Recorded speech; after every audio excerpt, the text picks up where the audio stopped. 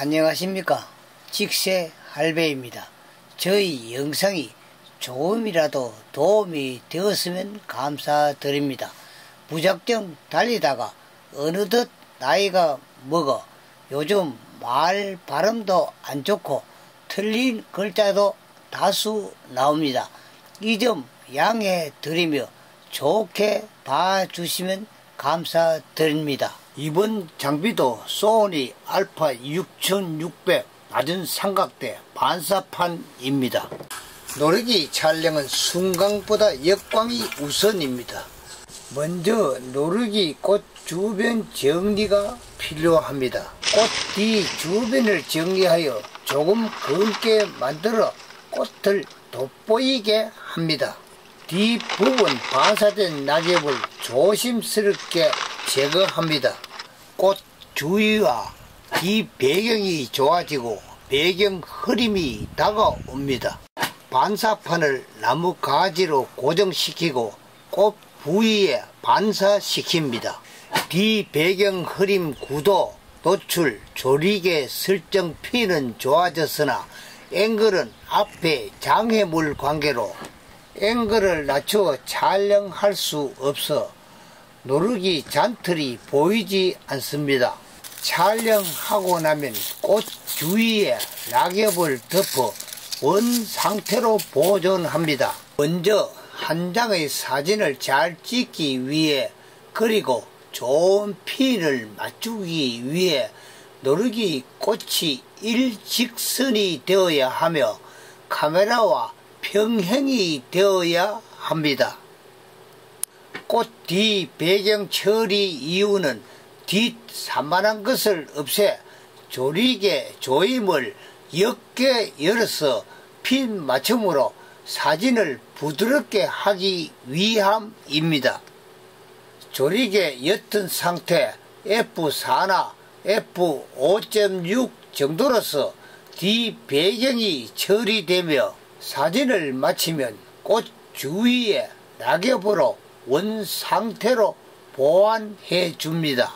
꽃을 잘 촬영하기 위해서는 기분이 중요합니다. 뒤 배경 처리가 되면 여러 송이 핀을 반드시 검색합니다. C3에 저장된 버튼을 두 번 눌러 확대시켜 전체 핀을 검색합니다. 중요한 부분을 선택해 꽃핀을 검색합니다. 핀이 100% 맞지 않은 것은 조리기를 조금 더 조여서 보충합니다.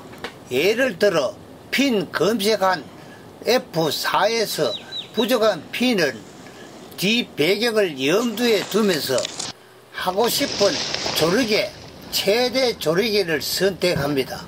예, F5.6이나 F8 정도 이렇게 촬영 준비가 되면 노르기 꽃 노출과 뒤 배경 농도를 신경 씁니다. 지금 F5.6 스트 auto 마이너스 0.7 EV 125분의 1초 ISO 200입니다.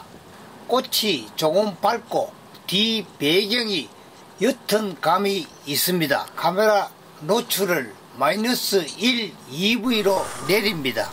노르기 흰꽃도 선명해지고 뒤 배경도 검어졌습니다.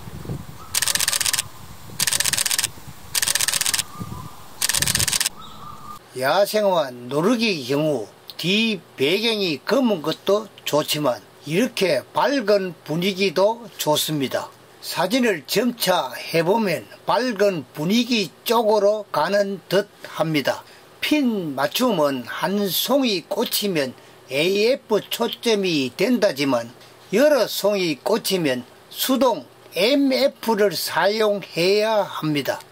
그리고 반드시 C3를 이용해 확대시켜 송이마다 핀 검색하여야 합니다. 이 방법이 숙달되어야 아주 작은 봄꽃, 즉 냉이 같은 종들을 촬영할 수 있습니다.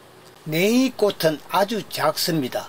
이것도 같은 방법으로 카메라를 상하 그리고 좌우 이동시키며 전체 핀을 검색하고 부분 송이 핀을 확대하여 F4 정도에서 70에서 80%핀 맞추고 나머지는 조리개 값을 올려 F8 정도 촬영합니다. 그러면 배경 및 꽃 선명한 정도가 좋습니다. 조리개는 개방된 조리개보다 임의로 미리 조여진 조리개를 보면 핀 조정 때 렌즈 심도가 된 상태에서 핀 심도 보기가 편합니다. 소니는 미리 보기가 기존되어 있어 사용이 편리하며 좋습니다. 야생화의 개화 시간은 모두 다릅니다. 대체로 11시 정도 많이 피는데 이 노르기도 11시쯤 개화 시작 모습입니다. 먼저 본 같은 꽃이며 오후 3시쯤 다시 와서 만난 노르기 꽃입니다. 지금 역광이 되어 뒤 배경이 검습니다. 장시간 인터벌 촬영으로 개화 모습을 촬영할 수 있으며 뒤 배경이 검고 앞부분은 반사판 빛을 주어 선명하게 하며 지금 노출 F8 auto 마이너스 0.7 250분의 1초에서 auto 마이너스 1.5 EV로 내려 검은 배경은 역광이 우선이며 카메라 앵글은 낮게 하고 카메라 앵글을 낮게 하여 뒤 검은 배경 쪽으로 향합니다. 노출은 중앙부 측광입니다. 항상 좋은 사진은 끊기와 같이 합니다. 감사합니다.